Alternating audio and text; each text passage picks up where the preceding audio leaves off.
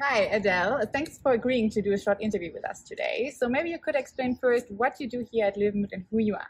Hi, uh, thank you for asking me to do this interview for you. Um, I'm Adele Moder. I'm the Deputy Manager for the Kangaroo for Löwenmut in South Africa.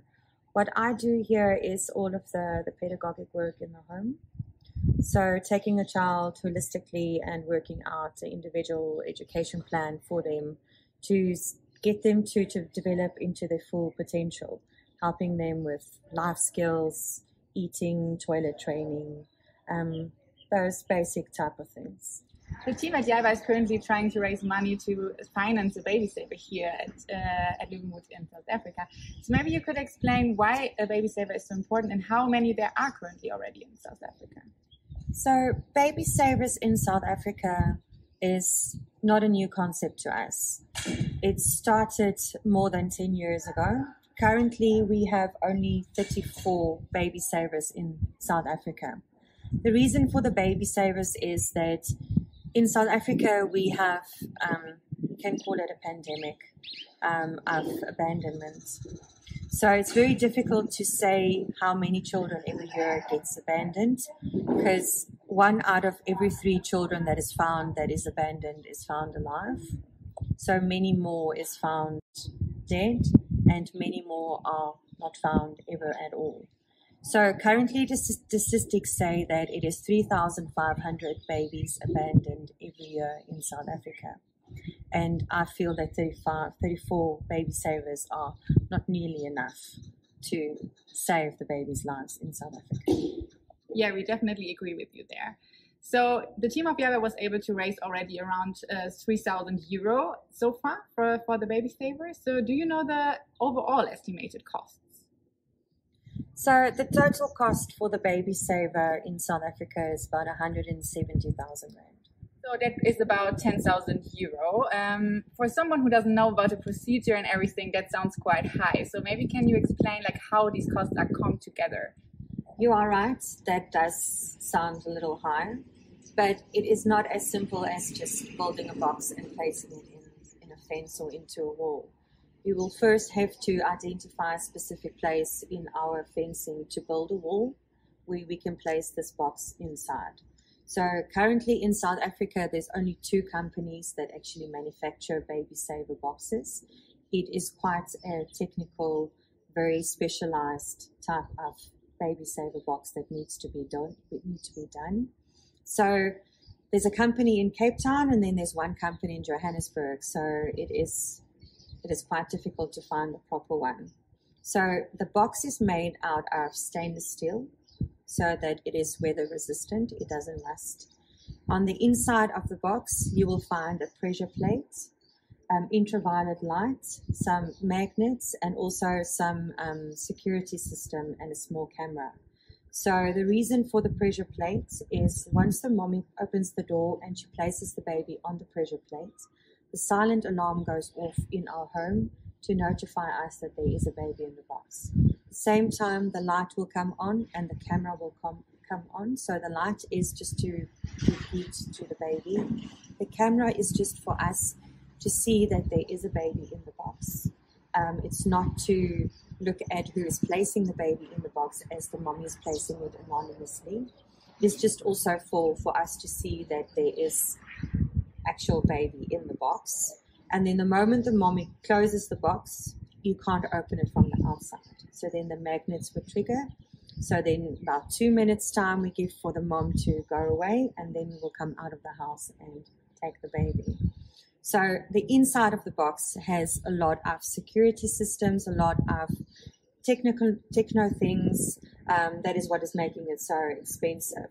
We need to be linked with a security company in case that we take too long and we have a power failure so that the alarm can go off at the security company as well.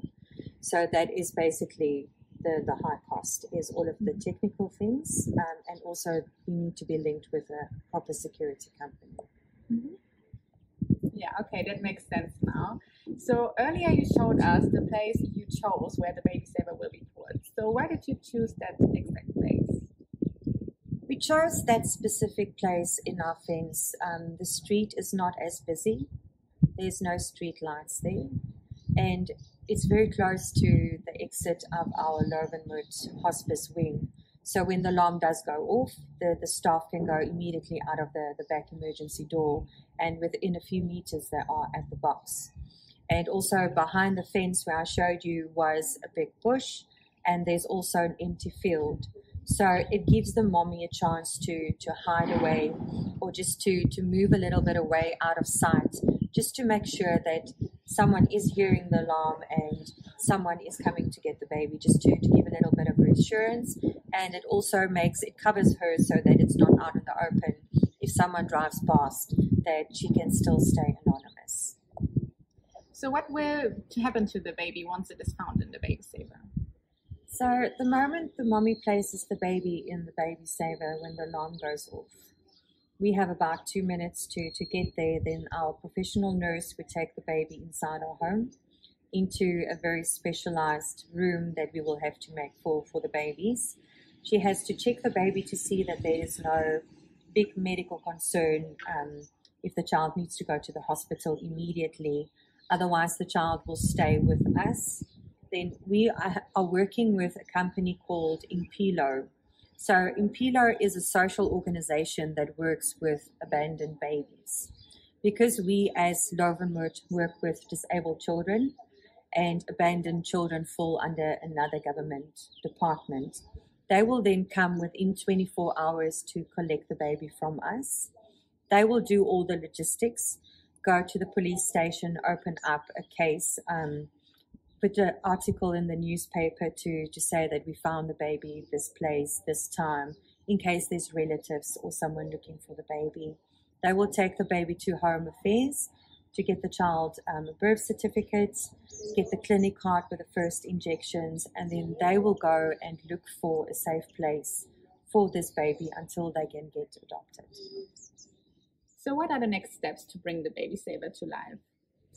So for us to bring the baby saver to life, we would first have to place the order for the baby saver, the box, um, which will take about three to six months to just manufacture. So in that, in the meantime, we also need to use the money that we will get from the 170,000 to upgrade our sick bay, just to, to make sure that we are equipped to take premature um, newborn babies. So that would be the first step then we would need to go to the different departments of our government just to inform them that we will be opening up the baby saver. We need to go to our police station, to the station commander to let them know as well, and our community. So, and then we need to start advertising, going to clinics, going to schools, letting everyone in the community know that we have this baby saver, that there is a saver option for the, the mommies to actually leave their babies. And also just to to make sure that that everyone is on board and that there's not someone that does not like the idea or doesn't know of the idea. So it will be first, it will be a lot of advertising and speaking to community and speaking to all of the departments before we can actually start. So thank you so much, Adele, for taking the time to explain the process for, to us so we know how it's going to work and we definitely uh, will do our best uh, at Yalwa to raise that money as soon as possible so we can get started. Well, from our side, from Löwenmut, thank you very much, Yalwa, for taking this interest in opening up a baby saver in South Africa and taking hands with us with this big dream that we have to to help South Africa babies, save babies, and to give them the opportunity to a future and a proper life. We looking forward to to working with with Yalwa in the future. So thank you, thank you